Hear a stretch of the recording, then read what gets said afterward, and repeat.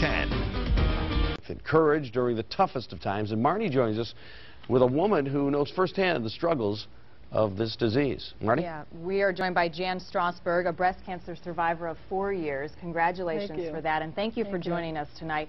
The story is so sad to hear of Elizabeth Edwards, and it reminds us all, despite the fact that we hear so many women saying we're battling the disease, right. we're beating the odds, this is a reminder that it is still a devastating disease that there is no cure for. Right, right. What does it bring back for you emotions you're four years out when you hear that she has passed away? Well, I think, um, I mean, it's a sad day. It's a very somber day. I think it's something that no one really thought would happen.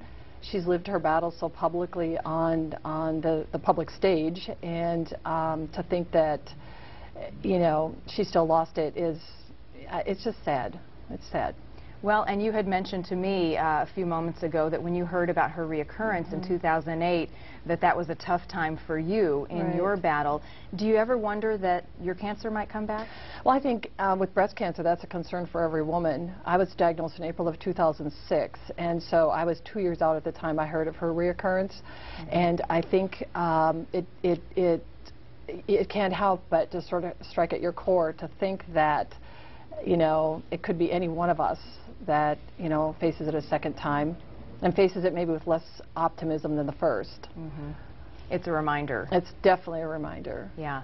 And you also mentioned that she was such an inspiration. Mm -hmm. What can mm-hmm. we learn from Elizabeth Edwards because she battled her cancer on the public stage. Right. What can we take from everything she went through? Well, I think, you know, it's obvious that she there's a long list of adjectives. She, she had grace, she had dignity, she held her head high, she uh, persevered through pain, she went through obviously tremendous personal challenges as well.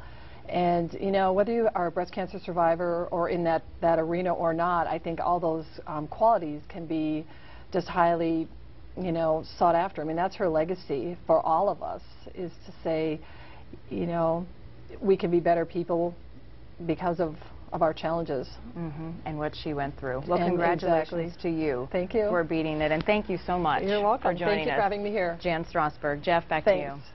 Jan's an inspiration to a lot of folks, too. Well, survivor rates are increasing all the time. The American Cancer Society Midwest Division says the breast cancer death rate has been dropping 2% every year since 1990.